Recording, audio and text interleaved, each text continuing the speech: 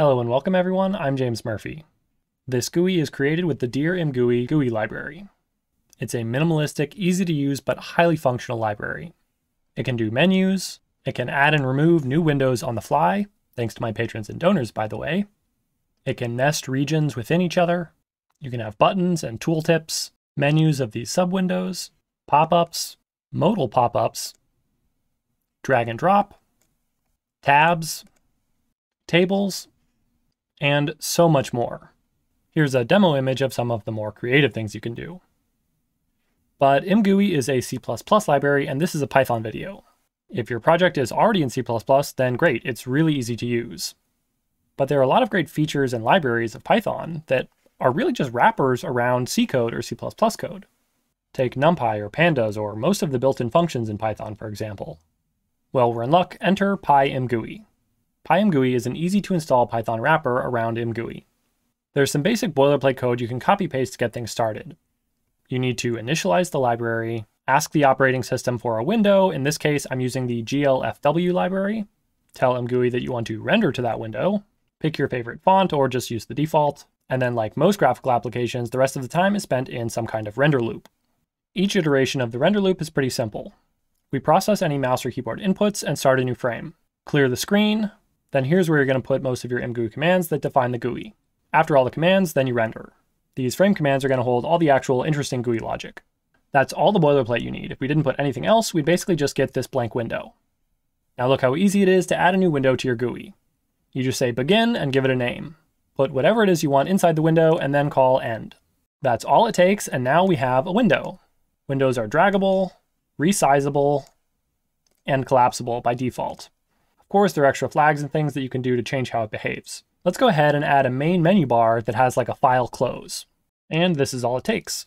I say begin main menu bar, which is going to return to me a boolean of whether or not the menu is displayed. If the menu is displayed, then I make a file menu. In the file menu, I make a quit item. Every frame when this runs, this returns to me whether or not it was clicked or selected. And then if you click to quit, I just exit. We run it, and now we have our file menu. This control Q is just shortcut text. It doesn't actually do anything though. If I want to actually make the control Q shortcut work globally, then I can just do this. This IO object exposes keyboard and mouse events and state to you. So I just check if control and the Q key are down and then exit. As you can hopefully see by now, the appeal of ImGui is how little code you actually have to write in order to get something extremely functional. And one of its biggest selling points is its declarative style. In a lot of GUI frameworks, you have to start with some kind of initialization method where you specify all of the possible different widgets and menus and things that you're going to have. Then you would hook up some kind of event handlers that will enable and disable components depending on what you do. But with ImGui, you don't have to do any of that. If I want a button that when you click it, it opens a pop-up, I just say if button, open pop-up. Then I check if the pop-up is open and put whatever I want inside. And there you have it, click, pop-up. I never needed to create a button object or set up any event handlers. I just read the ImGui commands top to bottom and do anything that I need to do as it happens.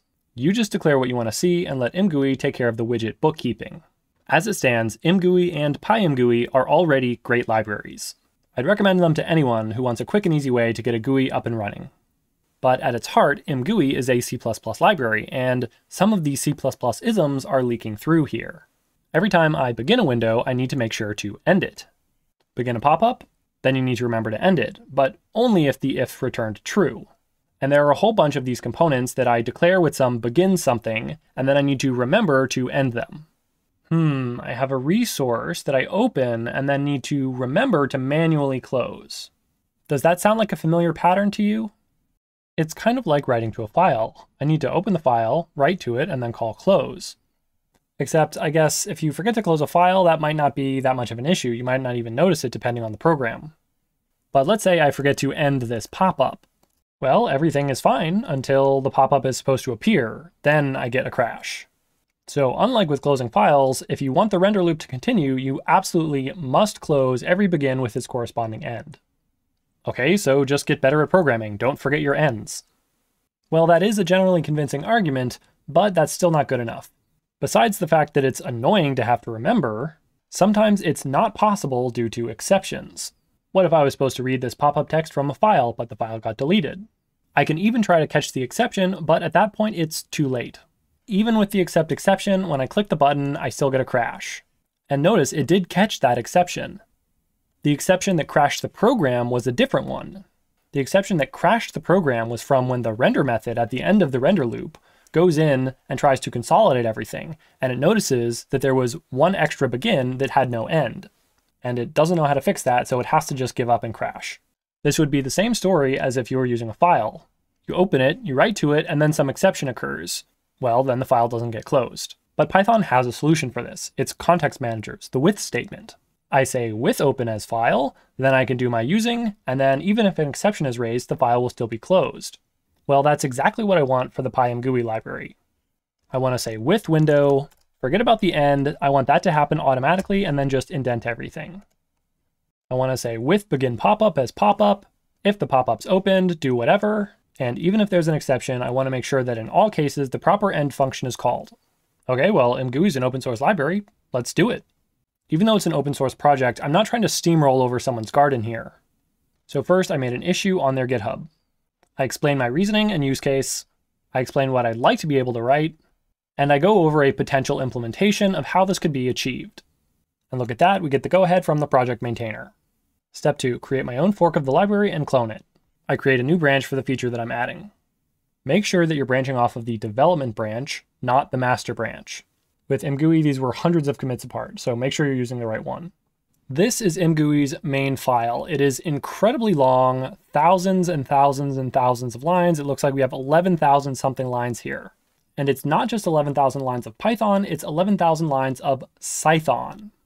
Cython is an implementation of Python that compiles into C or C++ code. It also allows you to import and call raw C and C++ functions from within Python. This is what allows us to use ImGui at all. Remember, it's a C++ library. Cython allows you to write normal Python code, but it also allows you to write this weird mixture of C-like Python code. Here we define a class draw list, but we use this cdef keyword. This is going to tell Cython to create a C extension class instead of a normal Python class. This is not meant to be a Cython tutorial. Cython is a huge topic. I just want to whet your appetite a little bit and show you some of the things that can be done. Anything that uses the cdef keyword is going to use C rather than Python under the hood that allows you to manipulate things like pointers that you couldn't manipulate in raw Python. You can also mark functions with cdef. Functions marked this way can only be called from within other Cython code. That means this method would not be accessible to regular Python. This can actually be a really good thing because cdef functions and variables and so on can call each other and use each other without ever returning control back to the Python interpreter.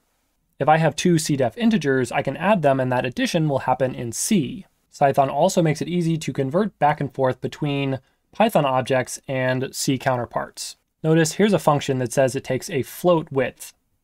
Now this is not using the normal variable annotation syntax. This is special Cython syntax. This is a normal Python function, and Cython will actually try to convert whatever you pass as this argument into a float. So if you pass in a Python float, it will unwrap that value and give you the C floating point value out of it. And if you try to return a float back to Python land, it will get wrapped up in a Python object. Let's get back on task. Here's the begin function that starts a window, and here's the end function. Besides like 100 lines of documentation, these are actually really, really short functions. I basically just call the raw C version of the function and then return its value. There's a little bit of finessing since the raw C version actually uses out parameters in order to fill this value of whether or not it was opened. The C library returns to you whether or not the window was expanded, and then it uses an out parameter to tell you whether or not the window was opened. And end is even simpler, it just calls the raw cimgui end function. Here's the idea. Right now, this is just returning a tuple of two booleans. My idea is to instead return a tuple-like object that has the same information, but also has enter and exit methods for with support. So let's construct this class. First off, we want it to be fast. We're going to use a cdef class. I preface the class name with an underscore to indicate that you should not be trying to create one of these from Python. This is a private implementation detail of ImGui.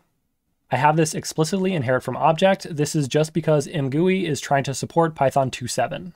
My original proposal used things like typing named tuples, but because they want to support all the way back to 2.7, I'm going to do it the old school way. I make expanded and opened. These are going to be the two tuple values begin was already returning. I mark them as bools, so they'll automatically be converted to Python booleans, and I mark them as read-only. What this does is it allows Python code to access these attributes, but it only allows them to read them, not write to them. I could use a regular init, but I'm going to use this cinit. This is just for a trick I know to make it fast. You could just as well just use regular init. Then the heart and soul of the proposal, enter and exit methods. This is what allows you to use the with statement. It's pretty typical for enter to just return self. Then in the exit method, we always just call the cimgui's end function, regardless of whether or not there was an exception or whatever. If there was an exception, it will call this function and then just continue propagating the exception. Next, I'm going to add a get item and iter. Personally, I don't think this class should have these methods, but it's too late. PyImGui is an existing library that already has lots of users. Prior to this point, the return value of begin was a tuple, so it needs to maintain that behavior in order to not break old code. So we definitely need to be able to index into the tuple, and the iter method is for allowing variable unpacking. Then, since I'm such an upstanding citizen, I write a repr for the class. And that's basically all the functionality that we need. So we declared our attributes in a little funny way. We used cinit instead of init, but then everything else is kind of just a regular class. So now let's use our begin end as the return value instead of just a tuple. I just take whatever the existing return value was and wrap it in my begin end class. But remember that speed hack I mentioned? Well, instead of instantiating the class the normal way, we're going to use the dunder new method. For sneaky reasons, this is going to be faster. Also, we didn't define a regular init, so we can't call it. And that's all we have to do for the begin function. Now I just grep for all the def begins that there are in the file, and this is the work that I have cut out for me. What I showed you was what I had to do for begin. Now I just need to repeat it for the other 17 others. And there are so many of these, I know there's no way I can do it without making a typo, so I actually made test cases for all of them. My process was to write test cases for one of the pairs, check that the tests fail, then I would implement the new functionality, recompile, and run the tests to see that they pass, or didn't. Finally, I would add an updated working version of my demo using the with statement to see that everything is working. Then so on and so forth for the next set of tests and the next set of tests and the next set of tests and so on. So this is actually, I'm recording this at the very end and these are all the test cases. Just so you can see what it would look like, first I set Cythonize with coverage equal to one.